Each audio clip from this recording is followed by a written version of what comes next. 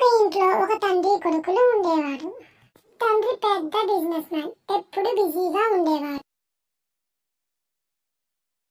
ఇతని పేరు రోబర్ట్. తనకేమో వాళ్ళ నాన్నతో కలిసి బయటికి వెళ్ళాలని ఉంటుంది. మా నాన్న ఎప్పుడు చూసినా బిజీ బిజీగా ఆఫీస్ వర్క్ అని అక్కడ ఇక్కడ తిరుగుతూ ఉంటాడు. మరి నాకేమో మా నాన్నతో కలిసి బయటకు వెళ్ళాలని ఉంటుంది. మా ఫ్రెండ్స్ లా మా నాన్నతో సరదాగా ఉండాలనుకుంటాను. రోబోట్ వాళ్ళ డాడీ త్వరగా ఇంటికి వచ్చేస్తాడు. అది చూసే రోబోట్ షాక్ అవుతాడు.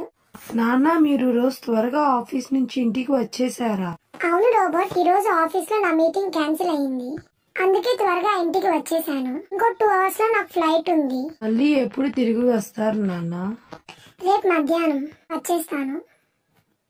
నాన్న నేను మిమ్మల్ని ఒకటి అడగొచ్చా? తప్పకుండా రోబోట్. నాన్న మీరు సంవత్సరానికి ఎంత సంపాదిస్తారు? నేను చాలానే సంపాదిస్తాను రోబోట్. నీకు చెప్పినా అర్థం కాదు ఇప్పుడు. అవునా నాన్న సరే మరి. అంతేకాదు నేను త్వరలో నా కొత్త బిజినెస్ స్టార్ట్ చేస్తాను సరే నాన్న మీరు గంటకి ఎంత సంపాదిస్తారు? ఒక గంటకి మూడు వేలు సంపాదిస్తాను రోబోట్. ఓకే నాన్న వన్ మినిట్.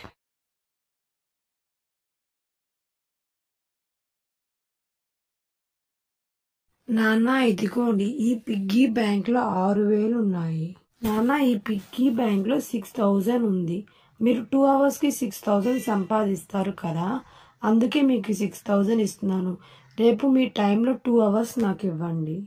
నన్ను ఎక్కడికైనా బయటికి తీసుకెళ్ళండి. ఆ మాట విన్న నాన్నకి చాలా బాధ మనం ప్రపంచంలో డబ్బుతో అన్నిటినీ కొనలేము కాబట్టి మన